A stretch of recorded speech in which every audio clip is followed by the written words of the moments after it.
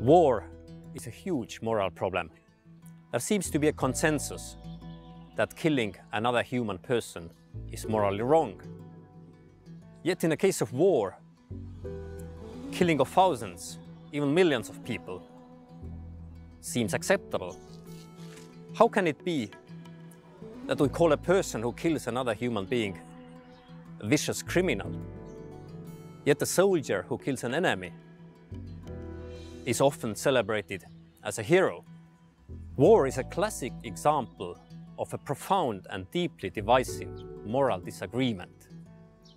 Most people would say that war is horrible, but it is a necessary and inevitable part of human life.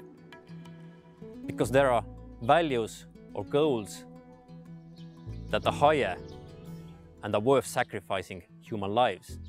The pacifists, on the other hand, they argue that there are no such higher goals or values that would justify killing.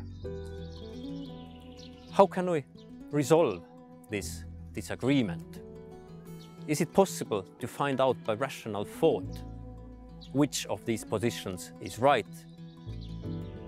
But if it is, how can we explain the fact that people have arrived at such radically different conclusions?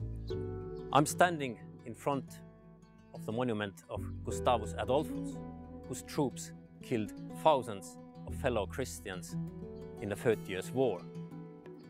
How can we justify this outrageous behavior, killing fellow human beings? These are the questions that we are going to study in our last seminar on just war.